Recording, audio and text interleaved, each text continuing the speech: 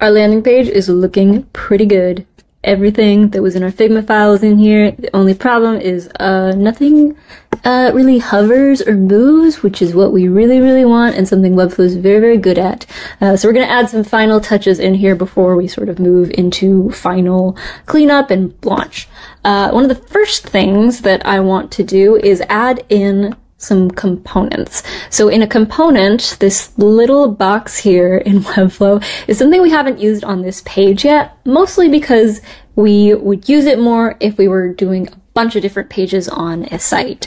Like for example, if we built out like the get started as its own page or a demo page, we would want to reuse this nav container. We wouldn't want to copy and paste it uh, into a new one and make changes because we want any changes we make to the nav to happen to every nav on the website. So the way we do that is we select the parent container of the uh, section we want to turn into a component. We'll click this gear or right click. Oh, not that. We want to right click and we're going to click create component. And so it'll ask us to give it a name. I'll call this one navbar and now we have a component. Once you click in here, you can see that you can still edit as normal, but it grays everything out. So while you are in a component, you can only edit within that component. Really kind of singles you down here.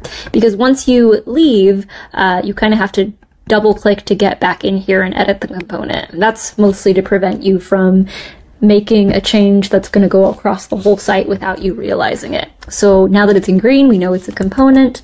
And if we were to add another page, we could add the nav in. So the most common components are going to be our nav, and I'm also going to make our footer section a component. I'm also going to change the tag here to footer so that uh, it's just semantically sound and everything has a name. And we'll call this footer. Awesome. Other things you could make components are sections. Um, we could have made this a whole component and reused it and dropped it into a different uh, section. Uh, you can make buttons components if you want to. Uh, the main thing with components is you can also, if you want to change something throughout components, you would click this little uh, property button, the little purple one, and that would allow you to change the text. So say you wanted to have the same layout but change the text, that's how you do that. But we're just doing one landing page for now, so we're good with just doing the nav bar and the footer. The next thing that I want to do is uh, link up these sections. So up here, product, features, and testimonials. I want those to go to uh, product stuff in this section, features um, in here. Oh, and I didn't even change the features text. So why don't we uh, do that for our brains? So that's going to be this. There we go. Great. So this is going to be our features, and then this will be testimonials. So the way that we can do anchor links to sections is select the section that you want to anchor link and then just give it an ID. So we're going to give this an ID of product because um, it's the first section in that product list. We're going to give this one an ID of features. And then this one will have an ID of testimonials. Beautiful. Now, if we go up here to our nav bar links, we can change the link to a section. So we have just regular links, we could link to another page, but this is the icon we want for sections. And you can see there's a bunch of stuff in here, and everything that's in here is basically anything that has an ID. So we can also see that um, all of our form stuff brought over too. So that's great but I am only interested in product for this one. I am interested in features for this one. And I'm interested in testimonials for this one. Perfect. Uh, another thing I want to do is uh, link all of our buttons to the contact form at the bottom. So I'm also going to give this an ID of contact. I think if this were a real page, these would all, these two buttons would go different places, but for now, we're just sending them all to this, this contact form.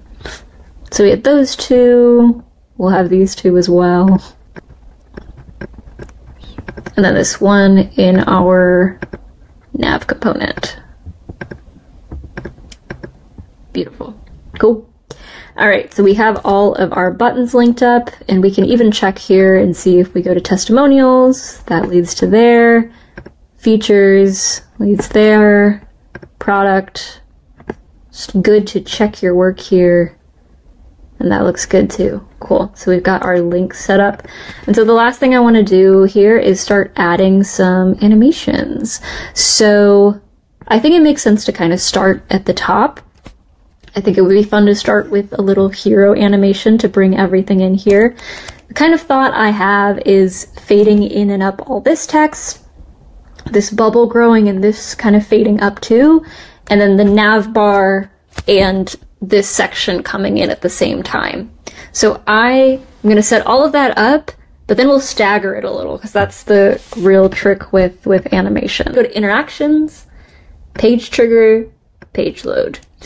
Um, and I'm going to do this when page starts loading. So you'll see that we already have some animations in here from when we did our nav bar. We're going to put in a new one called page load. And I am going to start just animating all of these different elements. Like before, I'm going to add a default state. Hmm, yeah, I'm just going to do the whole div.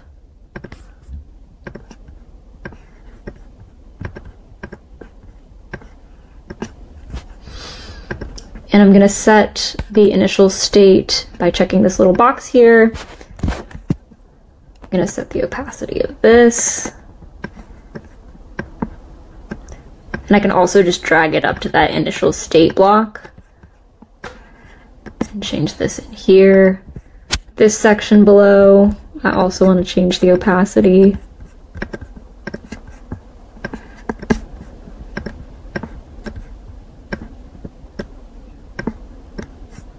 And then up here, oops, one thing that you cannot animate are components on their own, which is something I forgot about. So we will wrap this in a div block and call it main nav wrap. So that way we can have just something to target because once it's in that, it'll be able to be manipulated, but outside of that, it, it just won't. So let us do that. This opacity will be zero.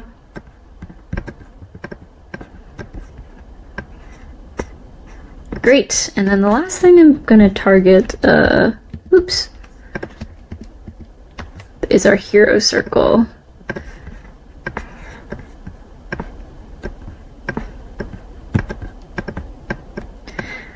So now I've got the opacity of everything fading in at the same time. So the next thing I'm going to do is uh, move things. And so this is going to start a little bit high. So we'll do negative like 20 and then move it down to zero.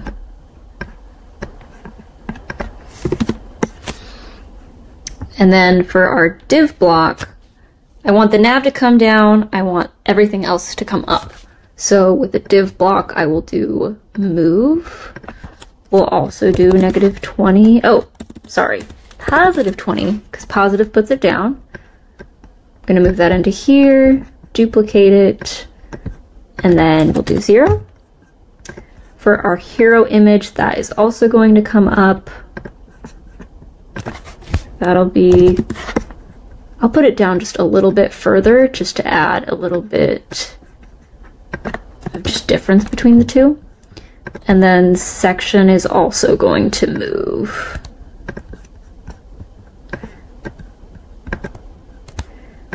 And you'll notice with all these, I'm not targeting the class, I'm just targeting the selected element.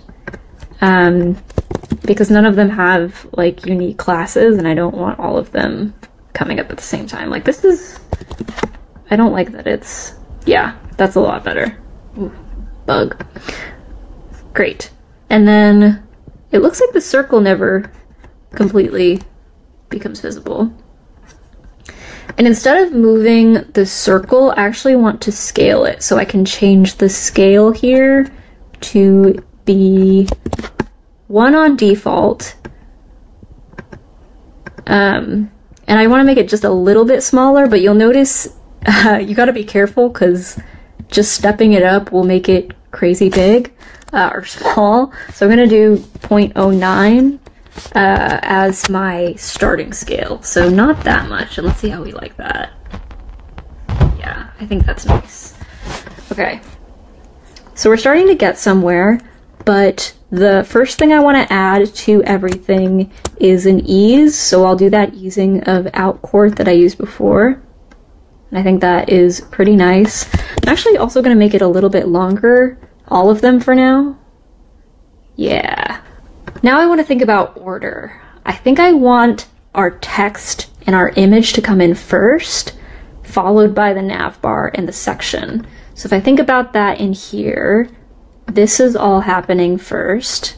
And then our main nav wrap, I'm going to give that delay of just 0.2 for everything with um, our main nav wrap. Then the section, I'm going to give it a delay of 0.3. And let's see if that is just kind of feels crazy. This is kind of one of those imprecise things that you kind of just have to look at. Like that feels a little too late. So I'm going to do, instead of 0.2, 0.1. And for this one, I will do 0.2. So let's see. I think that looks a lot better. I might even step the image uh, and hero circle scale even more. So instead of 0.1, let's do 0.5. this might be really kind of getting getting into it, but see, even that just looks way better. So that is something that's just going to happen when the page loads. So every time you preview it, it'll show you that new thing. Looking good. If you found this video useful and want to learn more, be sure to check out our complete guide to Webflow tutorial. It provides comprehensive tutorials and expert guidance to help you build professional grade websites and also has courses on other no-code tools. And if you haven't done so already, or if you're new here, subscribe to the channel for more content like this, share it with a friend, and if you have any questions, leave a comment below. Thank you for watching, and we'll see you in the next video.